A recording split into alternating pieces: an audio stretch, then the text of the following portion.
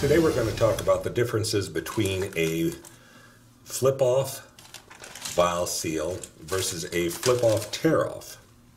This causes some confusion to some customers so that we're going to create a simple video.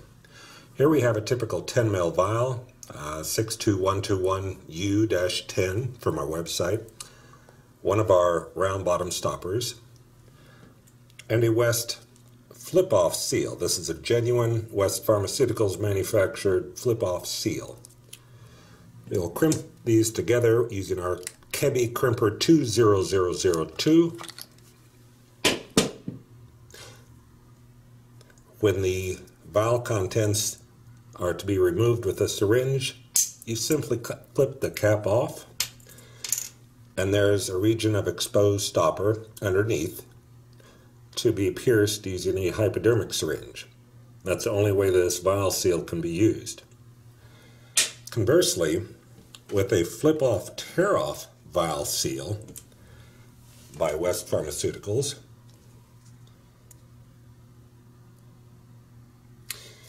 you have an added bonus of being able to completely remove the seal and pour out the vial contents.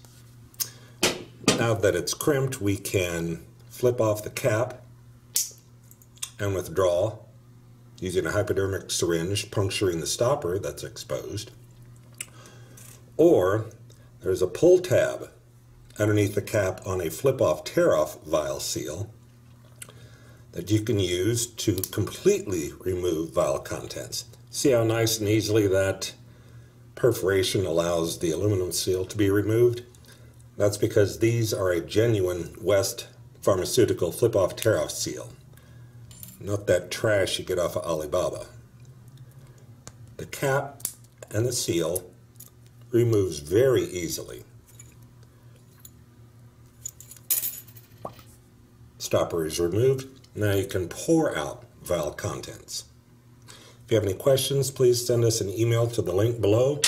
All of these components are available on our website, ezvials.com. Thank you.